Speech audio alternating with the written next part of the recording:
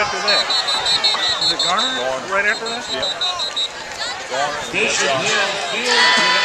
So we're four and one now.